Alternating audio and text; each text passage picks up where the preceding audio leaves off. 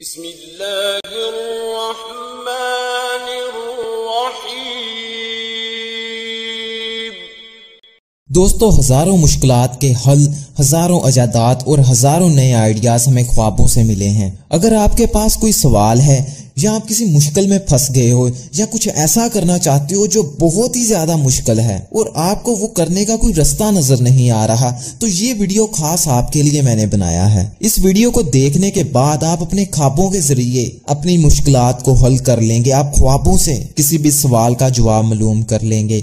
और हमेशा की तरह मैं आपको इस वीडियो में कोई तंत्र मंत्र नहीं बताऊँगा, बल्कि साइंस पर अपनी मालूम दूँगा, जिससे आप किसी भी चीज़ के मतलब कोई नया आइडिया या फिर किसी काम का शॉर्टकट अपने ख्वाब के ज़रिए हासिल कर सकते हैं। वो शॉर्टकट अमीर बनने का हो सकता है, कॉलेज में टॉप करने का हो सकता है। ये सब कुछ आपको अपने ही ख्वाबों में पता चल सकता है। दोस्तों, ख्वाबों से बहुत सारी अजादात हुई हैं, ख्वाबों से बहुत सारे नए आइडियाज़ आए हैं। आप आइंस्टाइन की थ्योरी ऑफ़ रिलेटिविटी को जानते होंगे जिसमें वो बताता है कि वक्त हर जगह मुख्तलिफ़ होता है और वक्त में सफ़र करना यानी आगे पीछे आना मुमकिन है। ये वाला कंसेप्ट ये आइडिया आइंस्टाइन ने अपनी ख्वाब में देखा था, नील बोहर, जिसने एटम का मॉडल पेश किया। उसने भी ख्वाब में ही इस एटम का मॉडल देखा था। ऑगस्ट कोकले ने बेंजीन का स्ट्रक्चर भी ख्वाब में ही देखा था। उसने ख्वाब में देखा था कि एक सांप अपनी दुम को अपने मुँह में लेके बैठा है, जिससे गोल रिंग बन रही है तो उस वक्त उसने बेंजीन का स्ट्रक्चर तैयार कर दिया। अगर आप साइंस को जरा भी जानते हैं तो प्रियोडिक टेबल आपने पढ़ा ही होगा। दोस्तों मैंड लीव को प्रियोडिक टेबल भी ख्वाब में ही मिला था। दोस्तों, मिसाइल और ऑटोमेटिक गन्स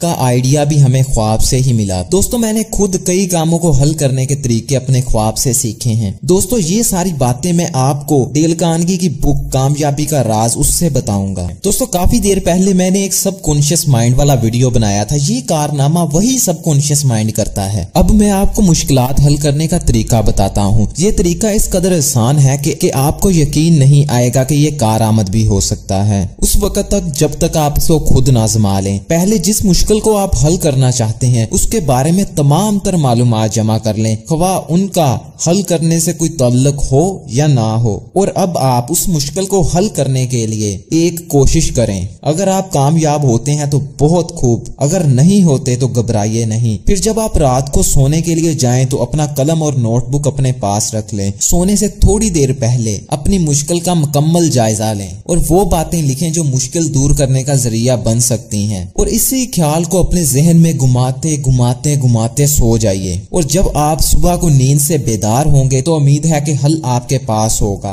उसे अपनी नोटबुक में दर्ज कर लें। अगर खुदा ना खास्ता कोई हल ना मिल सके तो मायूस ना हो, दूसरी रात इसी तरह करें। अगर फिर भी हल ना मिल सके तो बार बार इस तरह करें। एक हफ़्ते के अंदर आपको उस बात का यकीनन पक्का हल मिल जाएगा। बाजकात ऐसा होता है कि हल जल्दी नहीं मिलता। मैं एक मुद्दत से इस तरीके का इस्तेमाल कर रहा हूँ और मुझे हमेशा एक हफ़्ते के अंदर हल मिल जाता है। ये तो थी किताब की बातें ये किताब पचास साल पुरानी है। आज के साइंसदानों ने और भी ज़्यादा रिसर्च की है। दोस्तों, जब हम जाग रहे होते हैं तो लाशावरी तौर पर हम पे बहुत सारे कवानीन लागू होते हैं। जैसा कि इस्लामियात को कभी रियाजी में रख के हल नहीं कर सकते। आप ये नहीं कह सकते कि मैं उर्दू के प्रैक्टिकल कर रहा हूँ और ये भी नहीं कह सकते मैं इस्लामियात के थ्योरम समझ रहा हूँ। लेकिन जब हम सो जाते हैं तो हमारे दिमाग की हर किस्म की लिमिट खत्म हो जाती है। जब हम किसी चीज़ को सोचते सोचते, सो जाते हैं तो सो जाने के बाद हमारा दिमाग उस चीज़ पर हर किस्म का हरबा अप्लाई करता है। जैसा कि अगर आप कार खरीदना चाहते हैं तो आप कार के बारे में सोचते सोचते सो गए तो सो जाने के बाद आपका दिमाग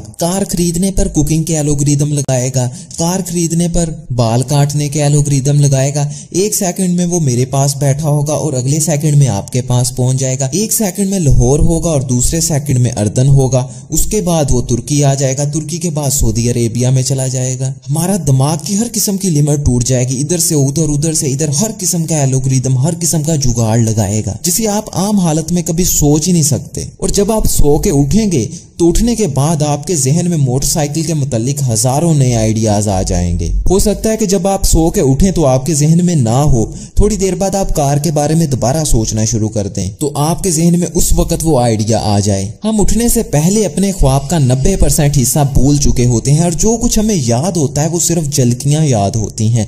ख्वाब याद नहीं होते। ये सारी कोई लिखी लिखाई चीज़ें नहीं है, बल्कि इन पे बहुत सारे एक्सपेरिमेंट्स हुए हैं। जैसा कि दो ग्रोहों को लिया जाता है और उनको एक किस्म की पजल हल करने के लिए दी जाती है। एक ग्रुप को कहा जाता है कि आप सिर्फ़ और सिर्फ़ इस पजल को बैठ के हल करें और दूसरे ग्रुप को कहा जाता है कि आप इस पजल को हल करें और सो जाएँ। फिर सो के उठने के बाद इस पजल को हल करें। वो ग्रुप जिसने सिर्फ़ बैठ के पजल हल करनी थी, सोना नहीं था, उस ग्रुप ने दस गुना ज़्यादा टाइम लिया सोने वाले ग्रुप से। इसीलिए सोना बहुत ज़रूरी है। और जो लोग पजल को हल करते करते सो गए थे, उन, उनमें से 75 परसेंट लोग ऐसे थे जिन्हें याद था कि हम ख्वाब में पजल हल कर रहे हैं। कोई तो कह रहा था कि मैं पजल के साथ एक रोड तोड़ रहा था, कोई कुछ कह रहा था, कोई कुछ कह रहा था।